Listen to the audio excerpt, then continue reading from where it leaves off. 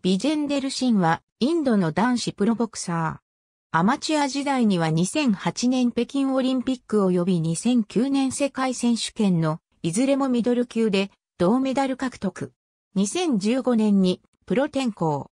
2004年アテネオリンピックにウェルター級で出場するが、初戦でトルコの選手に敗れる。2006年コモンウェルスゲームズで銅メダル獲得。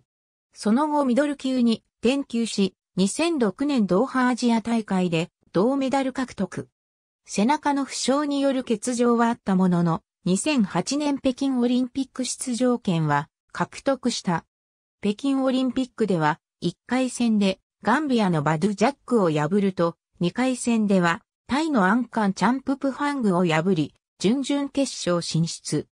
準々決勝でもエクアドルのカルロス・ゴンゴラを破り、インド初のオリンピックボクシングメダル獲得が確定した。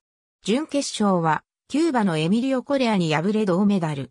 2009年世界選手権にも出場。準決勝まで進むも、ウズベキスタンのアッポス・アトエフに敗れ銅メダル獲得。2010年広州アジア大会では決勝まで進み、アトエフと再戦を勝利し金メダル獲得。2012年ロンドンオリンピックでは、1回戦でカザフスタンのダナベクスジャノフに勝ち2回戦進出。2回戦でもアメリカのテレルがウシャを破った。しかし、準々決勝でアトフに敗れ2大会連続メダルならず。